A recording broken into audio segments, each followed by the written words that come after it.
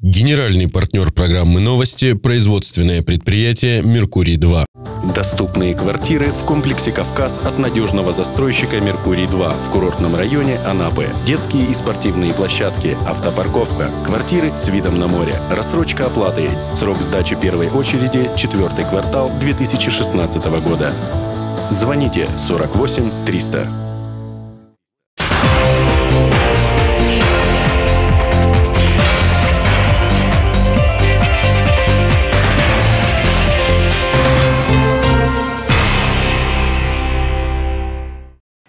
Эфир канала РЕН продолжают новости Анап регион. В студии Кристина Рабина. Здравствуйте. Итак, смотрите сегодня. Напрямую к мэру глава Анапы ответил на вопросы анапчан по прямой телефонной линии. Новогодняя елка в октябре. Что это, атмосфера праздника или способ обратить на себя внимание? Мнения анапчан разделились. Путешествие в страну чудес. Анапские поэты презентовали новую книгу молодому поколению. На прямой телефонной линии с мэром Сергей Сергеев ответил на вопросы анапчан, дозвонившихся в редакцию вашей газеты на прямую линию.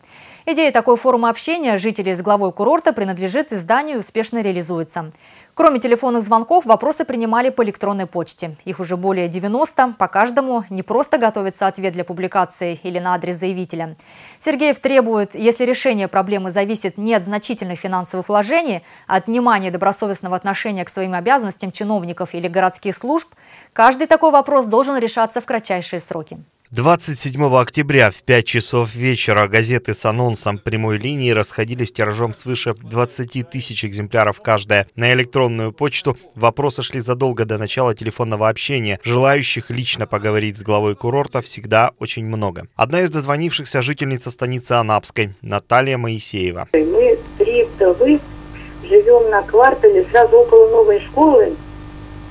И у нас э, на углу улиц Октябрьской и Кавказской построили магазин. И хозяин залил бетоном, и в воде, в воде выхода нету. А у нас как раз получается на квартале низина, вот с одной и с угу. другой стороны. Мы канавы вырыли до пояса.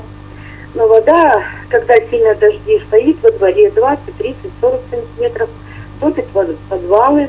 Но вообще канаву надо делать до самой улицы Мира. Там где-то частники выкопают, где-то администрация должна помочь. Ну, в общем, это у нас беда, вот она наболевшая. Вот я просто вас прошу э, в этом вопросе нам помочь. Хорошо, Наталья Николаевна, я изучу ситуацию, обязательно поможем.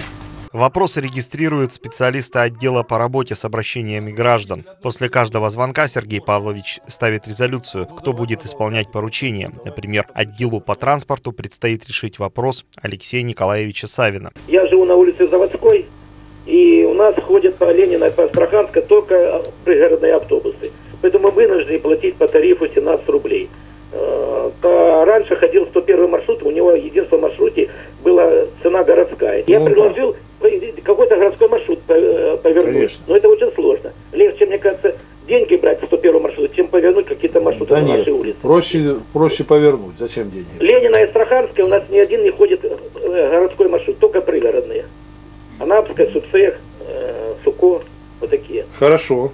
Несколько звонков касались льгот на проезд. Вопрос не в ведении муниципалитета. Социальная защита предоставляет такие льготы. Тем не менее, там, где возможно, городские власти окажут содействие. Да, я слушаю. А, вечер добрый. Добрый. Скажите, пожалуйста, вот в нашем городе, в Анапе, есть э, общественный транспорт. Вот я э, обладаю категорией как инвалид войны. Вот, э, везде написано, что 14 статья, 15 статья закона ветерана предусматривает бесплатный проезд. Вот.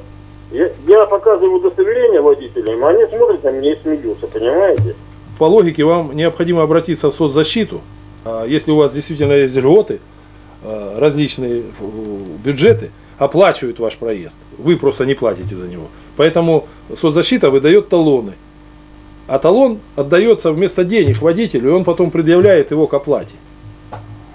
Понимаете? Вы не обращались, нет? Пока нет. Ну, дайте свой телефон, я думаю, сами на вас выйдут.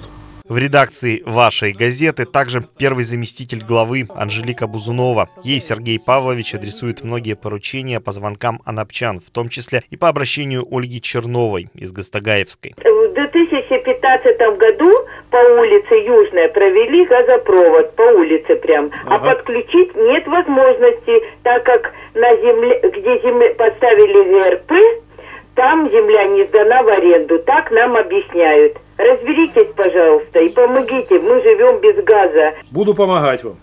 Аналогичная ситуация была в поселке Уташ Виноградного сельского округа. Там, по поручению главы Анапы, Управление капитального строительства завершило начатый проект газификации, и люди смогли подключиться. Тут же на месте глава поручает решить другую коммунальную проблему с теплоснабжением в многоквартирном доме. Мы от э, 157 Ленина 157, третий подъезд. Нам до сих пор не могут подключить полностью отопление. А кто у вас управляющая компания? Коммунальщик. У нас каждый год такая вот проблема, понимаете, две недели не могут в прихожку запустить. Но вчера запустили, вчера было холодно и на кухне, и то есть пол э, квартиры отапливалось, пол квартиры не отапливается. На кухне запустили, а вот в прихожке никак не могут запустить. И во всем подъезде так, да? Да, весь стояк с первого по девятый этаж. Весь стояк, вот 74-я, 70-я, 66-я квартира, с первого по девятый этаж. Как имя отчество ваше? Любовь Гавриловна, Хорошо, сейчас попросим, Любовь Гавриловна. спасибо. Да пока не за что. Будет тепло, будете благодарить. Хорошо. Мгм, спасибо. До свидания. А в чем дело? Не, ну бог проблема завоздушена. Уже сколько? Две недели уже. За полтора часа прямой линии глава Анапы ответил на 20 звонков. Еще 64 вопроса на вчерашний день пришли на электронную почту газеты. Сергей Сергеев подчеркнул, люди не просят ничего сверхъестественного. Все вопросы по существу. Решение большинства зависит от добросовестной работы исполнителей. А мы напоминаем, вопросы принимаются круглосуточно на электронную почту главы, а еженедельно по понедельникам Сергей Сергеев проводит прием граждан по личным опросам, на который может записаться любой желающий. Для этого необходимо обратиться с паспортом в кабинет 124 городской администрации. К выполнению поручений главы городские службы приступили сразу после окончания прямой линии. Так, одна из проблем, с которой обратились жители дома по улице Ленина 157, уже решена. Подача отопления возобновилась в полном объеме. Коммунальщики говорят, что причиной похолодания в квартирах стал выход оборудования из строя из-за непогоды.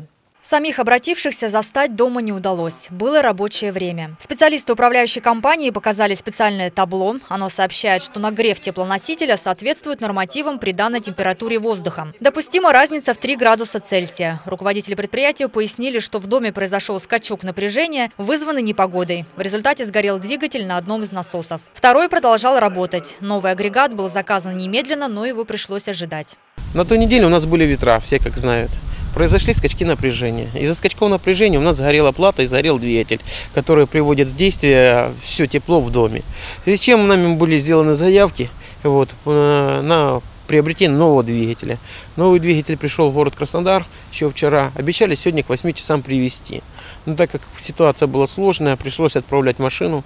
Привезли ночью двигатель. С утра в 8.30 он уже стоял. Люди работали, все запустили. Проблем сейчас нету. Отопление в доме есть. Атмосфера Нового года за два месяца до праздника. В Анапе начали монтировать новогоднюю елку возле крупнейшего торгового центра. Гости и жители города-курорта разошлись во мнениях. Кто-то считает, что предприниматели поспешили, кому-то хочется, чтобы скорее наступил главный семейный праздник. Некоторые же предполагают, что это просто маркетинговый ход. Мое мнение такое. Мне, например, хорошо, и в то же время, думаю, что-то рановато. Мы обычно устанавливаем 29 декабря. Вполне. Вполне. Поднимает настроение. Дело в том, что уже сегодня в магазинах продают, начинается продажа новогодних игрушек. Да. То есть, чтобы народ уже готовился к Новому году, закупал подарки, думал о близких. Здесь много приезжих, почему бы и нет, дети приезжают, и они будут с удовольствием это смотреть. Нет, не рано, мне кажется, нормально. Я думаю, что не вовремя и очень плохо. Ну, потому что хочется, э, если Новый год, то он должен быть в декабре где-то. А сейчас нет, еще не по сезону. Наверное, для привлечения покупателей. Раньше было с 1 декабря, сейчас это ноября. Покупатели, наверное, привлекает. Ну да, оно, оно влияет, но когда есть деньги. Ну, по-моему, ничего, да. Шикарная елка. Действительно, маркетологи утверждают, что атмосфера праздника способствует тому, чтобы покупатели легче расставались с деньгами. Специалисты рекомендуют быть бдительнее в эти периоды, чтобы избежать ненужных трат. А на самом деле ближайший официальный праздник – 4 ноября – День народного единства. Проверить состояние здоровья детей смогут жители села Гайкадзор. Завтра, 29 октября, в сельской амбулатории будет проходить профилактический день здоровья для детского населения. Маленьких пациентов будут принимать узкие специалисты. Невролог, лор, хирург, стоматолог, педиатр. Также можно будет измерить антропометрические данные, пройти ЭКГ и УЗИ диагностики. Анапских школьников приобщают к литературе. В Центральной библиотеке в рамках проекта «Литературная гавань» состоялась презентация книги анапских поэтов «Путешествие в страну чудес», на которую были приглашены учащиеся школы номер 6. Литературная гавань встретила новый корабль, свежую книгу анапских литераторов. А командует этой флотилией адмирал Владимир Сапрыкин. В книге есть все – яркие персонажи, интересные сюжеты, непременная победа добра над злом. Рассказанные истории поучительны, добры и доходчивы. В чем убедились все присутствующие на встрече, и это главное доказательство того, что книга удалась. Что ей видится на этом берегу в объятиях сна? То ли ласковое лето, то ли добрая весна – волны катятся к причалу, Там, где берег невесок, плачет ивушка печали, Слезы льются на песок.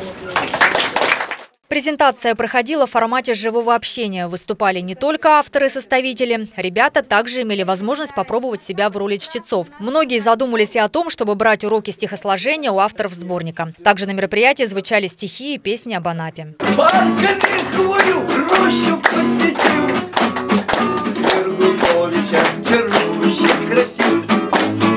Встреча оставила неизгладимое впечатление еще и потому, что каждый ребенок смог взять автограф у наших современников. В планах литераторов теперь организовать для школьников выставку рисунков и сочинений на тему «Путешествие в страну чудес». В субботу, 29 октября с 11 до 15 часов в городском театре будет проходить встреча с Александром Дворкиным, известным представителем антисектантского движения в России, православным богословом. На встрече будут подняты вопросы, связанные с противодействием псевдорелигиозным течениям и сектам. Приглашаются все желающие, вход свободный. А я напоминаю, что генеральный партнер программы «Новости» производственное предприятие «Меркурий-2» приступило к строительству нового многоквартирного комплекса «Кавказ». Все новости вы можете также найти на нашем сайте. А я с вами прощаюсь. До новых встреч в эфире. Доступные квартиры в комплексе «Кавказ» от надежного застройщика «Меркурий-2» в курортном районе Анапы. Детские и спортивные площадки, автопарковка, квартиры с видом на море, рассрочка оплаты. Срок сдачи первой очереди – четвертый квартал 2016 года. Звоните 48 300.